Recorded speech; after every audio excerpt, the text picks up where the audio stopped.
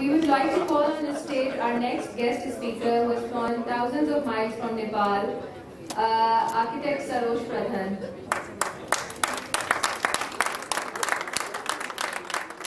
Sarosh Pradhan is Nepal-based architect, artist who believes in holistic living. He has won several design competitions and was awarded J.K. Foundation Young Architect of the Year Award in Bangalore in 2004. He heads the design firm Sarosh Pradhan and uh, Associates based in Kathmandu, Nepal and is editor-in-chief of Spaces, Nepalese Architectural Art and Design Journal. Uh, with an early, uh, early interest in art design, his firm has won and implemented several national design competitions such as Deva Setu Commu Community Center and the Sculptural uh, Memorial inside the US Embassy in Nepal. He has an added inner dimension for poetry, yoga, music and meditation and also shares his experiences in the open secret world. Ladies and gentlemen, please welcome our speaker, Sarosh Pradhan. Thank you. Uh, Assalamu alaikum. Khush Namaste. Uh, I think it's really wonderful that uh, you know you have this interesting topic uh, that brings us all together. And I'd like to share that when I heard this topic, I was in Ladakh in India. We're doing a small project there, a wellness center. And I was always, uh, I mean, then I was thinking that I wish I could cross the border. I saw so much of the Indian, you know, uh, there is the Indian army placed all over. But I think as human beings, you know, when there is the word Nepal or Pakistan or India removed and we look at the Himalayas, we're all connected with the mountains and the spirit of the place. Have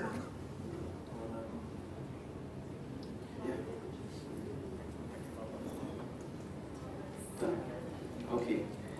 Uh, yes. So the context of uh, this uh, uh I think this conference is very, uh, you know, I had the intention that I wanted to come to Pakistan, and uh, this paper landed in my email, and I wrote uh, two paragraphs within half an hour and sent it, and the next I get this, uh, you know, beautiful short mail from Tanya saying your paper selected.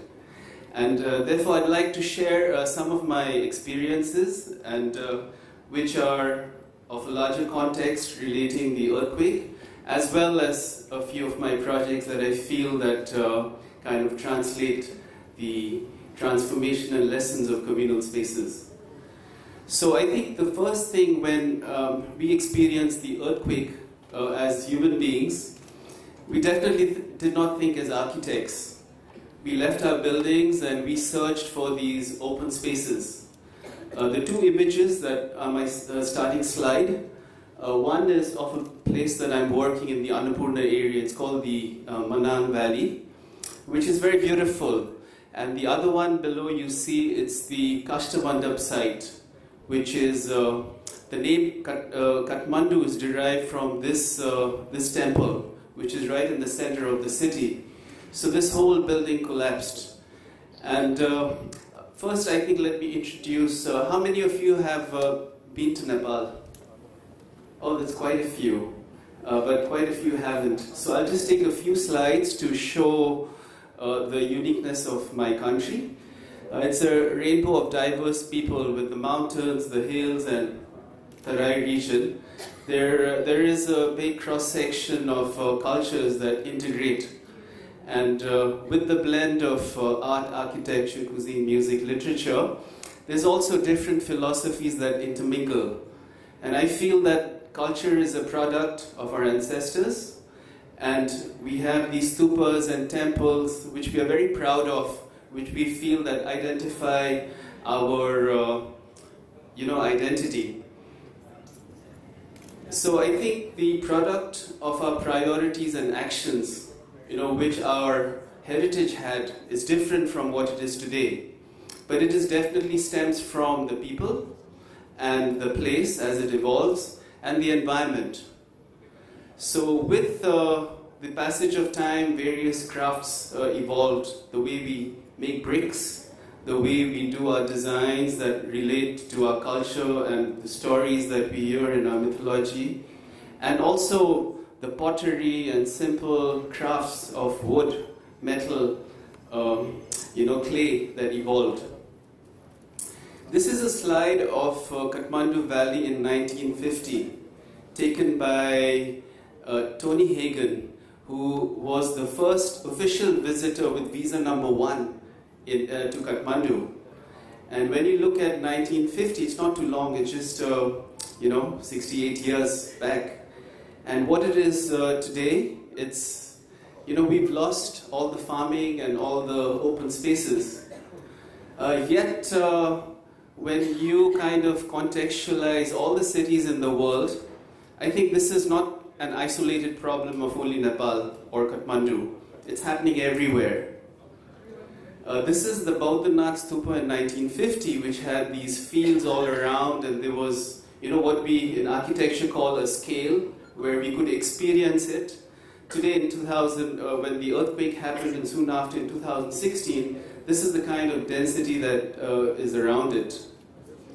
This is a view of uh, Bhaktapur, a very uh, popular destination and very well preserved uh, a little place. Uh, that uh, there, there, there is many uh, festivals there. This is the sea of people in one of the jatras, we call it. And the image below is when the earthquake happened. And uh, you see it isolated, people were all confused. And I think this is part of organic architecture where, you know, it is not built to last forever, but over time, nature reminds us that maybe we need to take care of it. You know, some of the wood that lay, this is the Kastamandap square where the name Kathmandu is derived. It was completely flattened. There was a blood donation camp that was going on, and I think around uh, 25 people perished in this, uh, this place. So it was a very deep reflection time. I think uh, it brought the community together in terms of I was out in uh, one of the Nuwakot villages helping out with all whatever resources I had.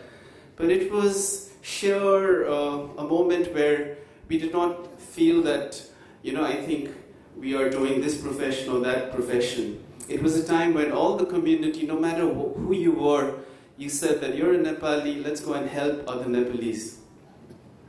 So we, we saw a lot of places in our inner Courtyards where you know these monuments completely collapsed. And that spirit of uh, you know losing everything i think it also in a way makes you very strong.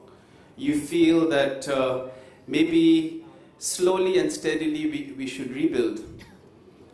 So those moments were this is an image of the army camp where uh, i stayed for a couple of days with my family. And it was a very deep reflection time of rethinking about the days ahead, how would reconstruction go, as well as uh, relating to everyone in a very simple manner.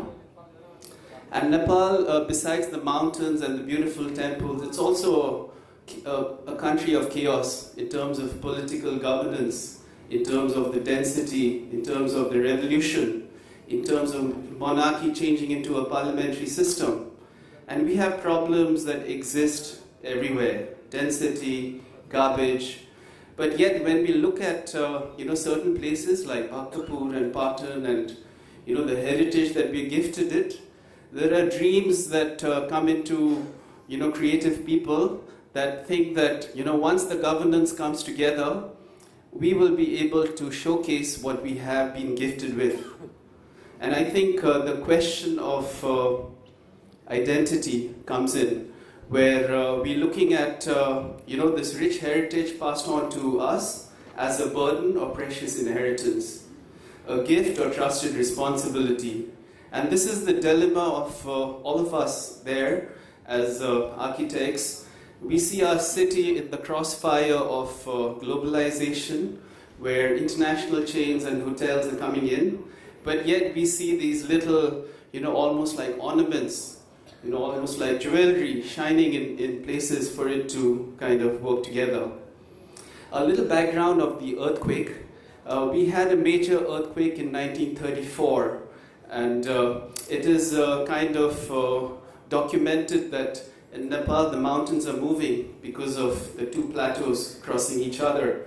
And every 75 years is predicted for a major earthquake. So this one that came in uh, 2015, it was after uh, 81 years. It's quite close.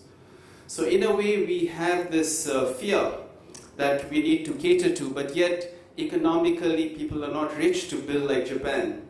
So how do we? It's, but it's a it's a time when it comes cyclically to think that the way we build is it correct? Should things evolve? Should things change? New materials have come into the market while UNESCO says that you have to rebuild with whatever authentic material that uh, kind of exists, uh, there is also this big debate about how do we introduce new, superior materials into these old structures. Uh, in day one, in Kathmandu, like uh, a, background of the valleys, the, the three sub-cities, Kathmandu Valley, Bhaktapur, and Patan. So Kathmandu is kind of more a focus of the government. So you have the center taking care of it. But the center sent bulldozers into these heritage sites. And uh, as a first reaction, we thought it was good. But on hindsight, we feel that it really destroyed, you know, all the wooden pieces, all the artifacts. And uh, we felt that if that would have gone a little slow, perhaps we could have salvaged uh, a lot of it. The other city, uh, Patan, which has a more community dominance, it's more integrated with, uh, with the place, saw something very different happen. There were no bulldozers. There were the community which came in and kind of uh, looked at, you know, the heritage that had fallen apart. And there was a reflection as to how to keep it. You know, simple things like, because it was the monsoon season was coming, how to just put a, a piece of plastic so that the wood, the wood would not rot. So these simple efforts by the community with the governance kind of helped, uh, you know, understand what were damaged, how to take care of it. And uh, the courtyards, the communal spaces, I think were very instrumental in kind of uh, keeping all these pieces together. And uh, we see a lot of uh, artifacts being stolen and taken into Western countries but these courtyards acted as spaces to really protect. So soon uh, the, the, the women and you know, the local community were involved in the various processes of the reconstruction. And I think each, uh, each uh, piece, wherever they could, was put in a small shed, accounted for, and one by one, the effort to kind of relook into our old books and understand and try to get more information as to how to rebuild. Uh, this is a slide of one of the pillars in Patan that kind of broke. And uh, there was this heated deba debate about how to put, you know, this broken stone together. And I think, you know, with the advancement of medicine and, you know, the way we kind of use it uh, is also applicable to architecture. So the local community said, why not, you know, have a piece of metal inside it and support it because it's a heavy piece.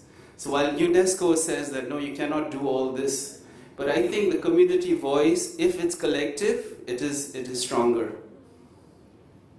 So these, uh, these are the present status of uh, some of the temples and you know, some of the work that is going in a very slow process, but it is heartening to see that uh, at least there is that uh, kind of sensitivity towards this craft and uh, heritage that exists. So the lesson, uh, lessons learned and challenges were really how to rebuild in a structurally sound way and not just an aesthetic way or just looking at history. And trying to get the exact standards required and how to involve the community, I think, was very crucial. And it's not uh, easy to involve the community but I think in times of trouble, I feel that the community spirit comes out much stronger. You know, when, when your economy is good, everyone is in their own little castle. But when there is a problem, it's, it's so uh, heartening to see people overlap with other professions. So the government of Nepal, the Department of Archaeology, and uh, local community efforts were uh, critical in, in, in certain core areas. I must say that it's not the case in all the places, but in some of the places where we've seen good example, it's really heartening and sets a very high standard of what can be achieved. So I think there was also a challenge of uh, old and new materials when we see damaged pieces, how to integrate you know new piece of wood or design into the old. We also uh, experience insufficient skilled craftsmen, you know, which is dwindling all the time. But it was also a moment where you know all the money that we received from the community, from the donors, were also used in kind of understanding the skills that we could encourage. So the other challenge was also to get wood, timber, because it's expensive now, and kind of see alternative ways how to do it in a more efficient manner. So that was a little bit of the earthquake. There is enough material on the web, or you must have seen it, but just to give you a feel. And I'll just uh, show you a few of the projects that I've been involved with. One is called Dwarika's. And this is also an interesting project because uh, it was started by a person called Dwarika Das. And he used to take long walks inside the valley and see these houses that were coming, falling apart, and you know, all these carved pieces were kind of being trashed. So he went on to a process of bartering. He used to say, I'll give you a new window, give me your old window that you're throwing away. And slowly that evolved into a storage area where he had collected two, three hundred original windows. And uh, when I got involved in this project, it was really a process to document uh, how we would take uh, all these artifacts into a new uh, building. So we first of all kind of uh, made an inventory of the entire collection and understood the size, the scale, the width, the kind of combinations, permutation it had, and identified all the different uh, you know, elements of the three-face window, the tikis here, which is the one face, and the pillars. And then we studied our three subcities to see the kind of language that existed. You know, like in Bhaktapur, we have the 55 windows, so there is a certain kind of repetition uh, of windows. So we said, why not uh, this space? uh, this was turning, this was being turned into a heritage hotel. So we said, why don't we repeat it like the 55 windows with the pillars on top?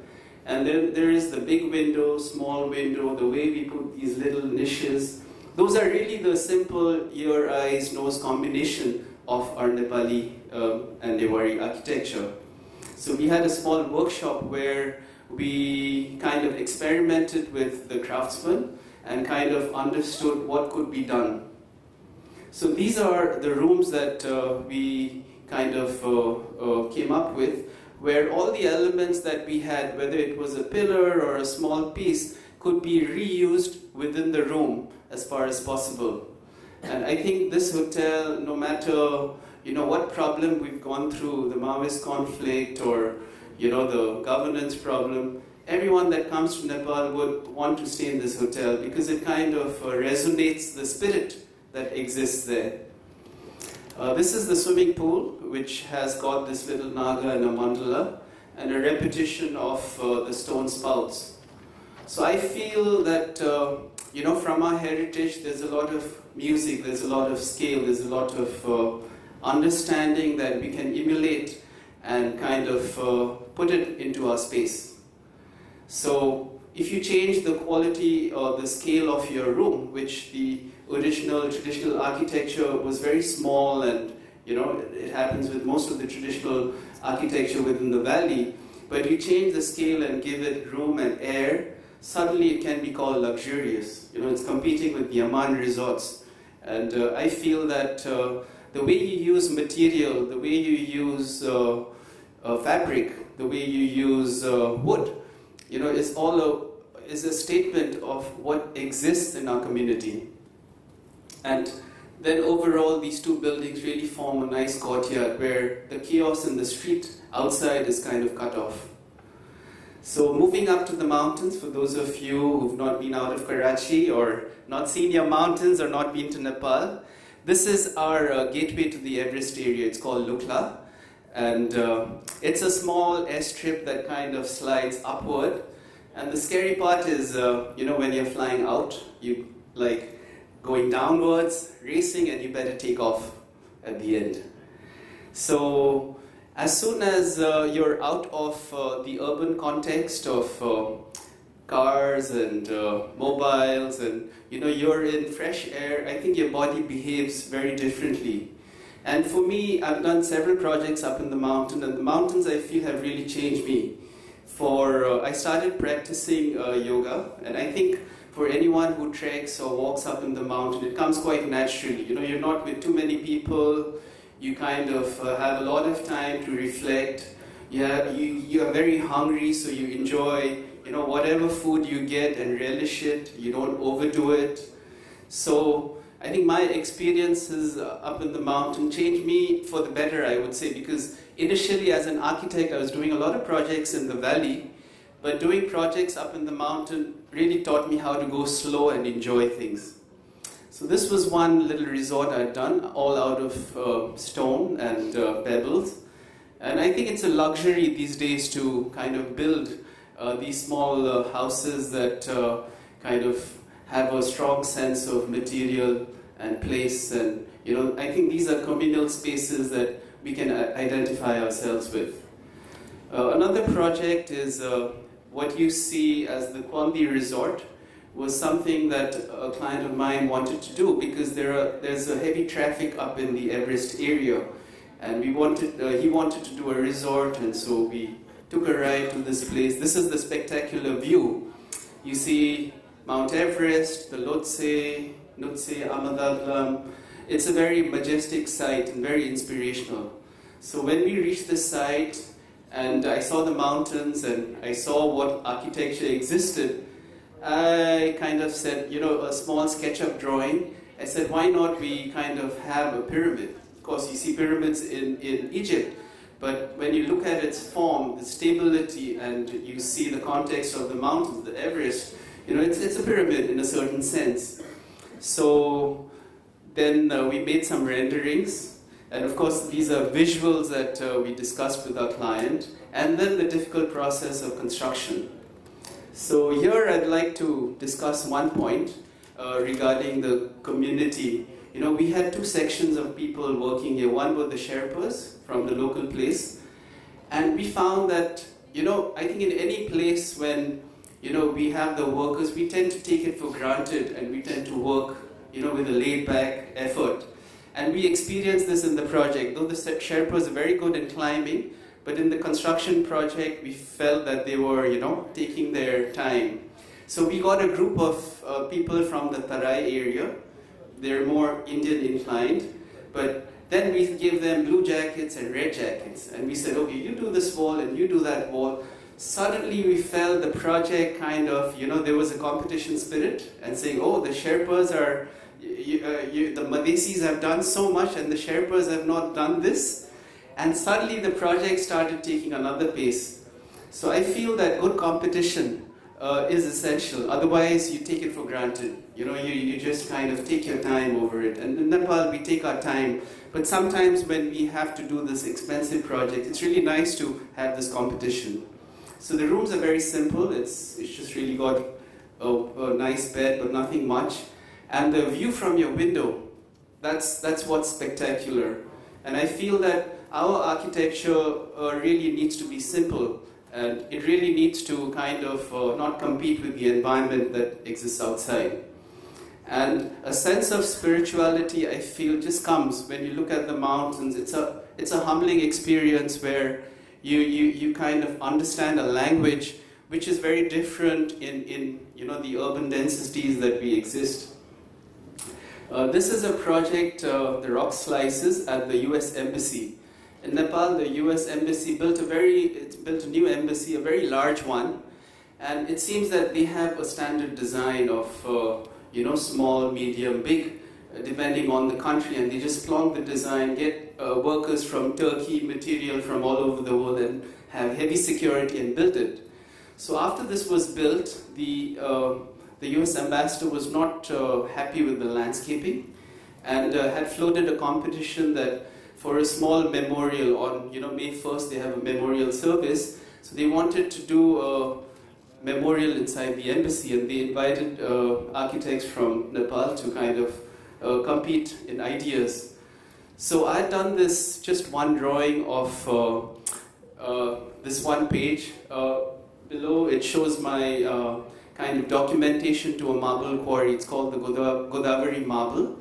Uh, of how big boulders are kind of taken out from the mountain and they're kind of sliced up and then sold as Godavari marbles. So that uh, inventory of photographs I had in my, uh, in my computer and uh, I thought that as a memorial, I think it would be nice to have a landscaping element in the garden. Uh, where as you come in you see a rock, but when you go around it you just see slices. And that was my metaphor to the memorial that, you know, it's strong but it's not there, there are gaps in between.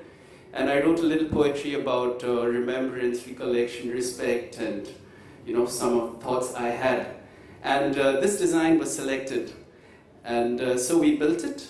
So it's beside the flag, and I think it uh, it is a kind of echo when uh, when people leave from the embassy in the evening. It reminds uh, everyone that you know we're about the mountains, we're about the landscape, we're we're, we're about you know materials that exist in, in, in our place.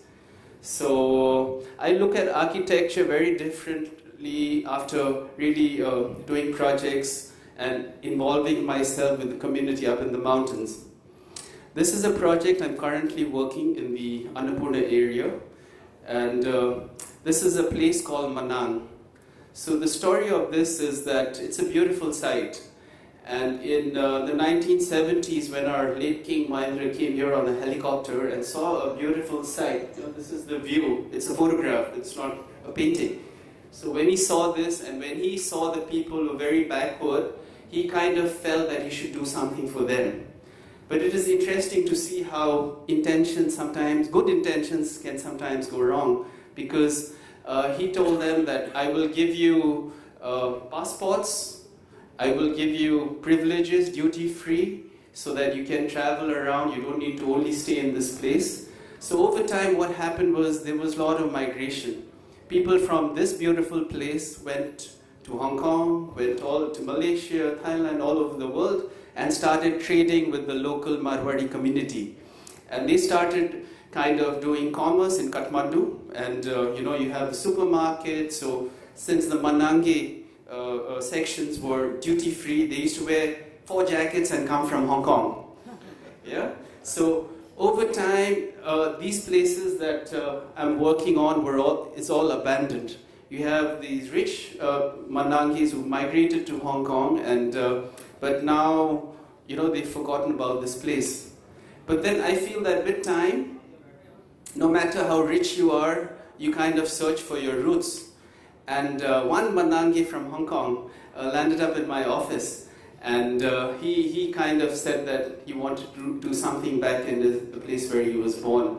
So I went with him to this place, and uh, we looked at the site, and we looked at the open space, and we had two choices to build.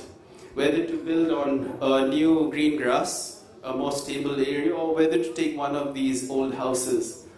And I suggested that uh, you know, if you could take these old houses, it would be a real challenge and it would not be easy, but it would be better than doing an easy uh, work in, you know, a new terrain. So after a little bit of, you know, making a model and convincing him, you know, the way architects have uh, their uh, ability to impress the clients and kind of push them towards a good solution. So I managed to uh, kind of show him the uh, beauty of this place. So this place is very, very special. It, it leads to uh, the, uh, the lake, the Tilicho Tal, which is the highest lake in, in Nepal. And there is also the Thorongla Pass that crosses over to the Mustang area. And I feel that this valley is very fertile and it's just like Kathmandu Valley in 1950. But if you don't have a vision for this, if you allow densities and traffic and you know, I think these days with, uh, with the, the kind of construction uh, devices that you have, you can't just change a place. You can change Tibet into New York. So we can, we, we're losing these places very fast. And I think when we talk about communal spaces, when you talk about interactive connectivity to your cultural heritage. These are very important places, very virgin places where we have to really take care, not just in Nepal, but in neighboring India, Pakistan, Bhutan, this whole belt. So, last few slides, I would like to state that uh, it is uh, the spirit of a place and we need to understand it. It's your priorities. You know, is it just uh, economics? It is, is it just about more or is it about doing quality relating to your heritage? So this is the, this is the way that we are rebuilding at that place, where it is really about stabilizing the hill and trying to integrate it with the architecture that existed. This is the buckwheat that is there. Uh, whenever I go there, I become extra healthy and come back. And I feel that, you know, all of you, if you go up to your in Pakistan, I, I, I can assure you that you'll be healthier. And one story I'd like to share, which I did uh, just earlier when I was in my office in Kathmandu, just staying there, I used to wear glasses. And slowly I started practicing yoga up in the mountains. And I'm very happy and proud to say that you know, I don't overdo my computers, I don't overdo my work, and when you have a certain balance, your balance within yourself, you kind of also learn to balance your body and your parts. So, yeah. So these are some of uh, the challenging places. Besides the beauty, it is not all about beauty. It's about, you know, why do people come to Nepal and climb mountains? You know, you're, you're risking your life. You, you're kind of stupid to kind of, you know, uh, from your safety zone to come here and climb mountains. But I can assure you that the few little climbs that you do and you have a puff in your breath, you'll be healthier. You will connect to a soul and spirit which you haven't seen. So I took this trek up to the Tilicho Tal and uh, it, it, it was just majestic. This is the lake uh, where where you can hear uh, you know the snow melting and the rivers are forming in this place. That's me right below, just lying down. It's it's it's heaven. You you, you just be so aware and conscious of how what you're doing. And I feel that is the necessity we require in our communities in the urban areas.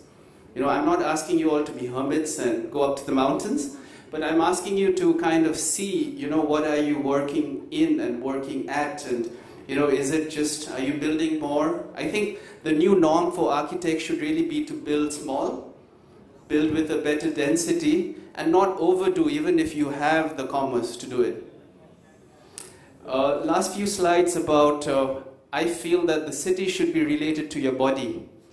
And the practice of yoga has taught me that, you know, you have all these chakras in your body, I feel that if you look at this city with also all these chakras, you will start getting answers that relate to, relate to a certain balance and harmony.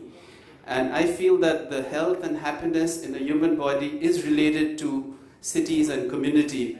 And I feel that the spirit of a place like Nepal, like up in Ladakh and the mountains here in Pakistan and Bhutan, kind of make you understand a quality which is required in this world. So these are, I'm showing off a little bit. I'm inspiring you all to kind of do yoga. Uh, these are some of my poetries. Uh, I write uh, three, four lines when I'm up in the mountain and, you know, stretch your mind and your body will be flexible, stretch your body and your mind will follow. It's this big cycle, but it's all related. And doing this asana, uh, the Sirsa asana, was kind of very challenging. But being upside down is challenging initially, like everything in life. But after you get it, it brings about balance, strength, and vitality within you. So this one is a little more, I think architects, uh, it's for architects and for engineers, a little poetry. Uh, as you align and tune the energy centers within your body, mind, and spirit, an architecture and engineering blueprint of your latent potential will emerge. So for me, getting into yoga was an extension of architecture. It was about knowing the nooks and corners about uh, you know yourself. And when you understand, you know your hand, like you know your hand has got a fracture, you re- you see how important it is. You know what you can do with it. But we take our body for granted. We take our mind for granted. We take our eyes for granted. And I think that's where, uh, if you're not aware of how we can sync all the energies to it. Uh, what is the kind of uh, real energy you have and how special you are? I think you realize that. So, the spirit of a place I keep echoing because I see that priorities are changing in this world. We're looking at China, we're looking at India, we're looking at uh, America, we're looking at Dubai. We see, when I came here also, I got a sense of Oman and you know the places that are emerging. I think there's a big, uh, I feel it's like a Disneyland that's happening uh, all around where we're trying to build these humongous structures that kind of take a lot of energy. And uh, the bigger question of is it making us happier? Is it making us healthier? I think these are critical issues that we need to understand. So, uh, the sharing yet with the sense of privacy from our heritage, what we have, like the courtyards, parties, dhunge dharas, the faith and challenges that I feel are really, uh, you know, about openness you know, the modern architecture, we're learning to build more walls. And I think challenge openness. And we should look at cultural entity as opportunities and inspirations. And in Nepal, in some of the festivals we have, the negative side is there's a lot of sacrifice, animal sacrifice. And I kind of advocate with some of my friends that, you know, we must also have the courage in our community to remove some of the inessentials. So the inheritance from our culture plays a very important part to really establish a communal space.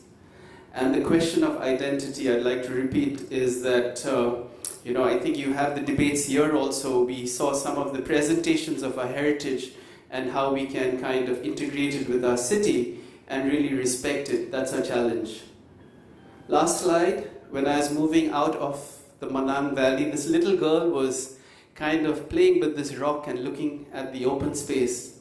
And in a way, it kind of, uh, kind of uh, summarized what I feel about, you know, open spaces in the city or up in the mountains. How do we really, what do we give our children? Do we give them more buildings? Do we give them more confusion? Or do we integrate our space with the quality of life? And it depends on the eyes that you look with. Thank you very much.